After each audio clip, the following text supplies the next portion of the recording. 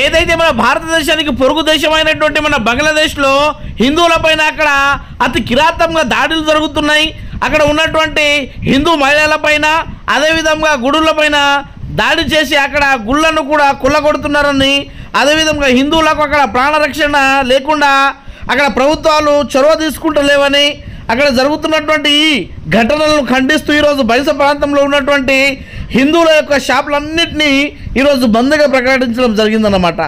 ఈ బంద్ కార్యక్రమంలో భాగంగా ఏదైతే బైస ప్రాంతంలో ఉన్నటువంటి షాపులు ఉన్నాయో హిందువులై దాదాపు పది అంటే హండ్రెడ్ పర్సెంట్ అక్కడ బంద్ చేయడం జరిగింది.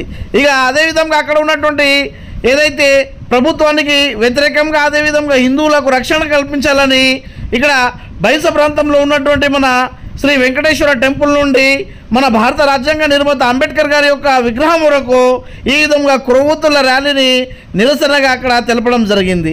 ఈ కార్యక్రమంలో భాగంగానే మన ముదల్ నియోజకవర్గం ఎమ్మెల్యే పవార్ రామారావు పటేల్ అదేవిధంగా మన గంగాధర్ మాజీ చైర్మన్ గారు అదేవిధంగా అదేవిధంగా మన కాశీనాథ్ పెండెపు కాశీనాథ్ హిందూ ఉత్సవ సమితి అదేవిధంగా గాలి రవి గారు వడ్నం శ్రీనివాస్ గారు అదేవిధంగా దత్తు అదేవిధంగా మన ఎన్నుపోతుల మల్లేష్ గారు విజయ్ గారు తదితర నాయకులు కొవ్వొత్తుల ర్యాలీలో పాల్గొని అక్కడి నుండి ఈ విధంగా కొవ్వొత్తుల ర్యాలీ తీసుకొని మన బంగ్లాదేశ్లో ఉన్నటువంటి హిందువులను వెంబడి రక్షించాలి.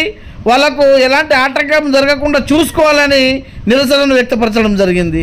ఇక ఈ కార్యక్రమంలో భాగంగానే మన బీజేపీ నాయకుడు మారుతి గారు అదేవిధంగా సాయిబ్రావు గారు తదితర నాయకులు ఈ కార్యక్రమంలో పాల్గొనడం జరిగింది. ఇక ఈ కార్యక్రమంలో భాగంగానే బైసపట్నంలో ఉన్నటువంటి కొన్ని వందల మంది వేల మంది యువకులు అదేవిధంగా హిందూ బంధువులందరూ ఈ కొవ్వొత్త ర్యాలీలో పాల్గొని అక్కడ స్వచ్ఛందంగా ఏదైతే బంగ్లాదేశ్లో ఉన్నటువంటి హిందువులు ఉన్నారో వాళ్ళపైన దాడులు జరగకుండా చూసుకోవాలని ఈ విధంగా మన అంబేద్కర్ చౌరస్తలో రౌండ్ చేసి కొవ్వొత్తుల ర్యాలీని అక్కడ నిర్వహించి రెండు నిమిషాల పాటు ఏదైతే అక్కడ జరిగినటువంటి దాడికి బలైన వాళ్ళు ఉన్నారో వాళ్ళ ఆత్మ శాంతి కలగాలని అక్కడ రెండు నిమిషాల పాటు కొవ్వొత్తుల ర్యాలీని తీసి మౌనం పాటించడం జరిగింది.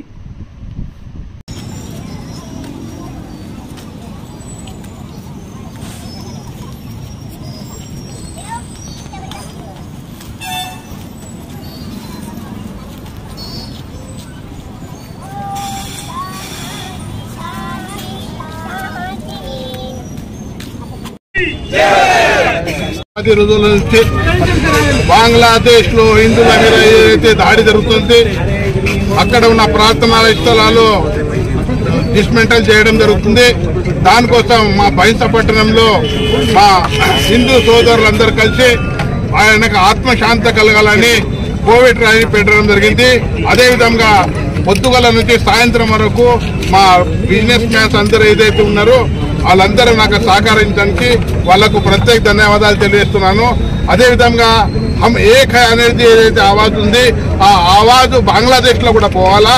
మన ఉన్న హిందువులకు రక్ష కలగాలని ఆ భగవంతుని కోరుకుంటున్నాను. భారత్ మాతాకి భారత్ మాతాకి